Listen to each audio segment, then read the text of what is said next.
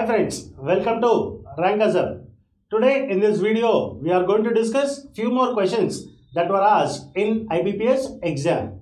Please visit our website rankershubindia.com or download our Rankers Hub app for full length courses where you find more than 450 videos related to different competitive exams. Along with that, you find many test series given to you for your practice.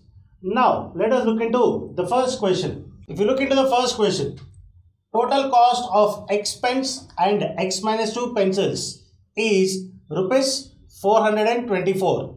If one pencil and one pen cost rupees 4 and rupees 20 respectively, then find x. Now let's see how can we answer this question in a single step. All of you understand the question carefully. If you can understand the question carefully, solving this question, you can do it in a single step. Total cost of expense. So there are expense and x minus 2 pencils. So you can clearly see here the number of pencils are 2 less than the number of pens. And he is saying that and the total cost is 424. If one pencil and one pen cost rupees 4 and rupees 20 respectively. So each pencil cost 4 rupees and each pen cost 20 rupees. Then he is asking us to find what is the value of x. Now if you see carefully here, generally what students do is they try to write down the equation saying that each pencil costs 4 rupees. So there are x minus 2 pencils, 4 into x minus 2 plus 20 into x the number of pens which is equal to 424 definitely you will get the answer. But think in a different way. How simple you can answer this question see here all of you. If i say here there are x pens and x minus 2 pencils.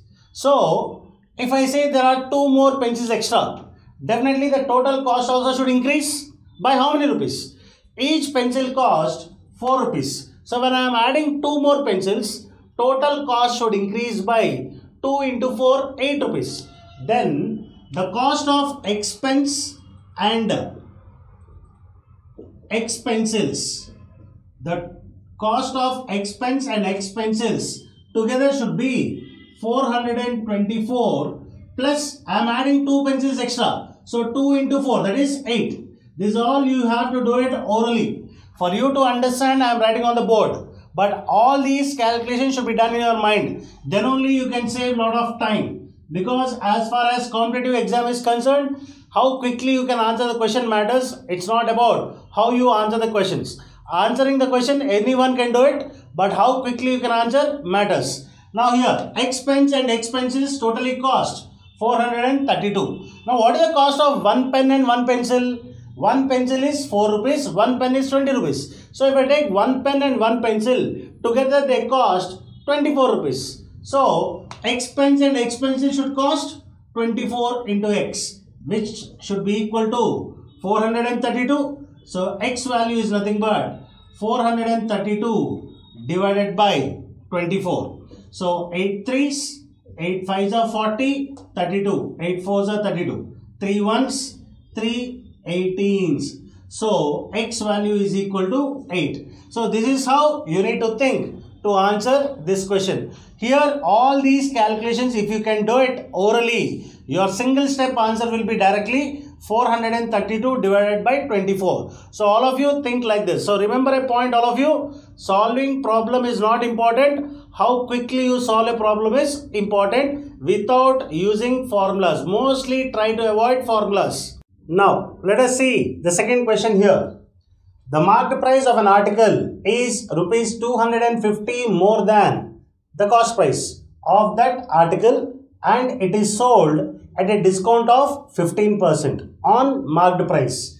Find the cost price of the article if the profit percentage earned is 27.5%. So here you can clearly see this question is based upon the chapter profit and loss. Now here, if you want the basic of this profit and loss, whenever you download our app, you find more than 240 minutes of videos in that app. Along with that, in that you have more than more than 150 questions discussed on different models related to profit and loss. Now, let us see this particular question. Now, discount is generally calculated on which price? Discount is always calculated on marked price and profit percentage is always calculated on cost price. Now, here he is saying that he is selling the article after offering a discount of 15%. 15% on which price? Marked price. Now, if there is a discount of 15%, so I can clearly say 85% of marked price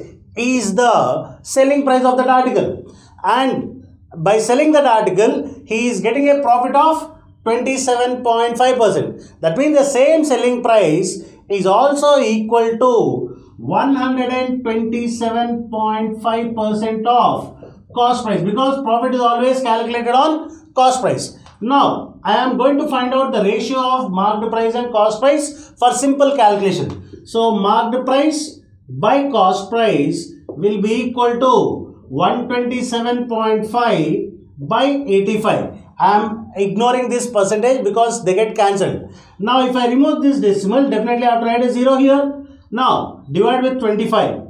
25, 3s are 75, 10, 100. 25 4s are 100. 25 5s are 125 again 25 25 ones now here 17 2s 17 3s so the marked price and the cost price of that article are in the ratio of 3 is to 2 and clearly he is saying that the marked price of the article is 250 rupees more than the cost price that means the difference in the marked price and cost price is 250 rupees which is how many parts here it is one part so one part equal to 250 rupees what is the price that is asked us to find? We are asked to find the cost price of the article. So cost price of the article is nothing but two parts. If one part is 250, obviously two parts should be equal to 500. So the cost price of the article here is 500. So the correct answer for this question would be 500. See how easy we could answer this question. So if you know the basic of this chapter, definitely you will be able to answer the question not taking more than 15 to 20 seconds. Let us see the third question.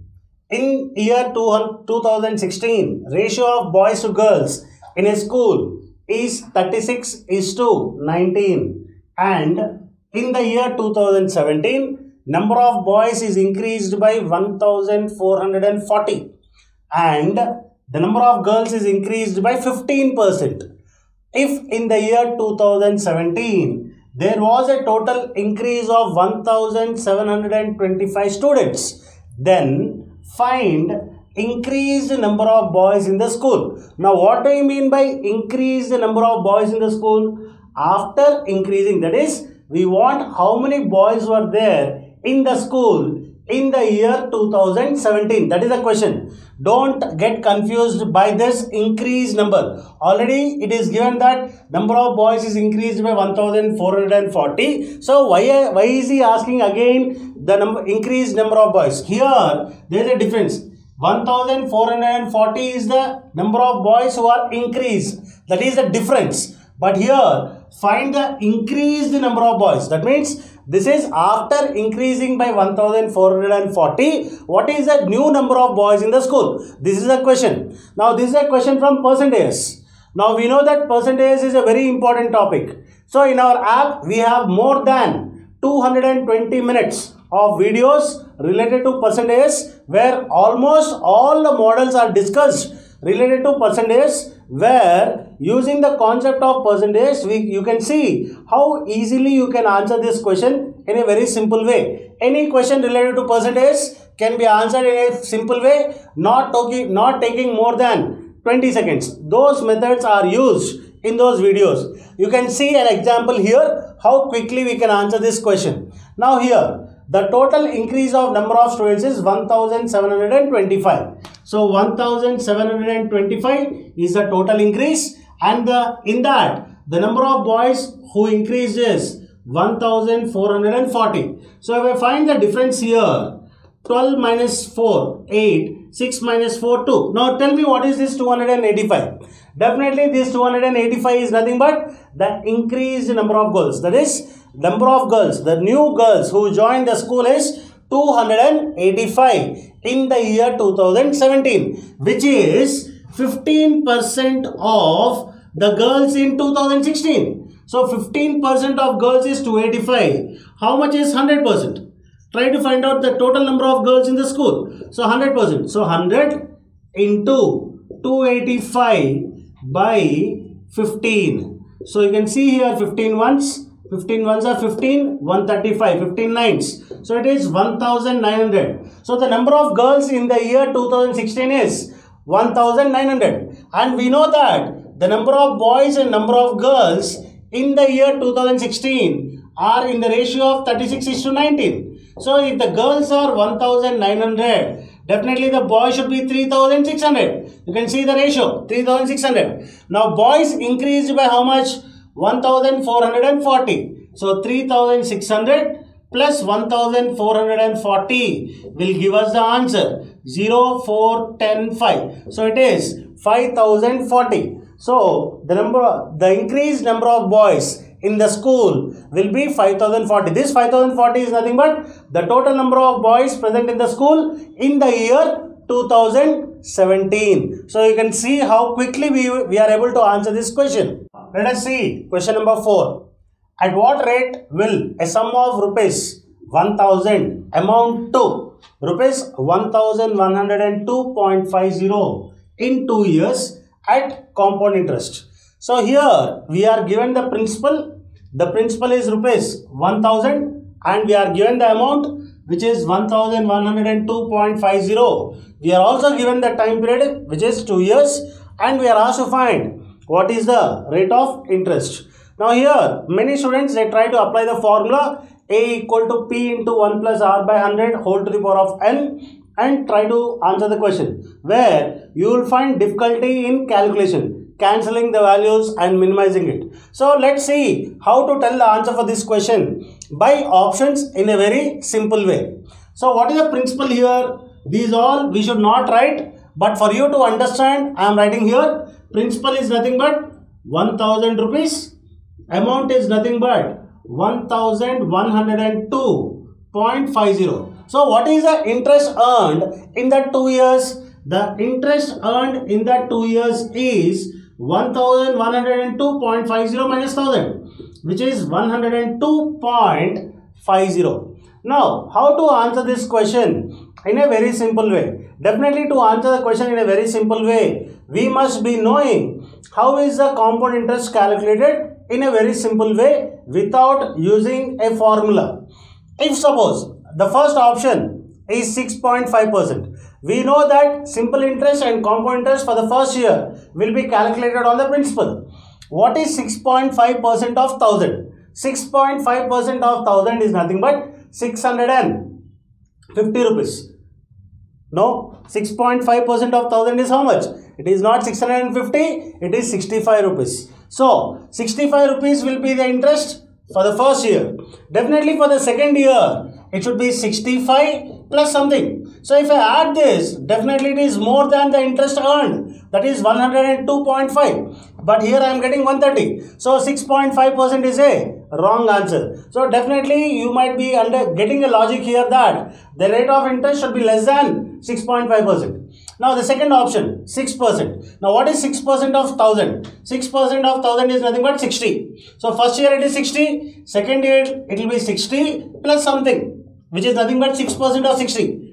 So here 60 plus 60 itself is 120 which is more than the interest here. So this is also a wrong answer. Now the third option 5.5%. Now what is 5.5% of 1000? 5.5% of 1000 is nothing but 55. 55 plus 55. You can clearly see it is 110. So definitely this is also a wrong answer. The next option 5%. Now what is 5% of 1000? 5% of 1000 is nothing but 50. So second year it should be 50. So 50 plus 50 is 100. So definitely this may be the answer. But what is the second year interest? First year interest is 50. Second year interest will be 50 plus 5% of 50. What is 10% of 50? 10% is nothing but dividing a value with 10. So 10% of 50 is 5. What is 5% of 50? Half of it, which is 2.5. So plus 2.5. So clearly you can see that totally the interest is 102.5. So the correct answer for this question would be 5%. So if you want to tell the answer through options, you have to be very quick in calculations. If you are very quick in calculations, definitely some of the problems we can answer through options. Now, let us see the fifth question. The ratio between the present ages of P and Q is 3 is to 4. So, the present ages of P and Q is in the ratio of 3 is to 4. So, P is to Q at present is 3 is to 4.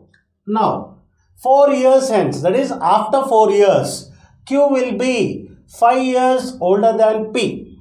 So, after 4 years, he is saying that the age of Q will be 5 years more than P. Now, here, the question is, what is the present age of? Now, you need not require a pen to answer this question. Orally, we can tell the answer for this question. Now, think about the question what I ask you right now. What is that that remains constant between the ages of two persons always? Now, if I talk about two persons, let's suppose the age difference between you and me is 10 years now. Definitely after 5 years also, will the difference between our ages change? No, it will be the same. So the difference in age of two persons, that is between two persons, will always remain same. So here, after 4 years, if Q will be 5 years older than P, definitely at present also, Q is 5 years older than P. It means that the difference in ages of P and Q, always it will be 5 years. So at present also, the difference in their ages is 5 years. Hope all of you got the answer by now. The difference is one part which is 5 years. Now I want 3 parts. 3 5 are 15 years. So the present age of P will be 15 years. Many students they fear that you have to write equations while solving the questions in problems on ages. No, it's not always true. There will be some problems. If you can understand the questions easily, definitely you can answer the questions orally also. Thank you for watching. For more videos, please subscribe to our channel Rankers Hub.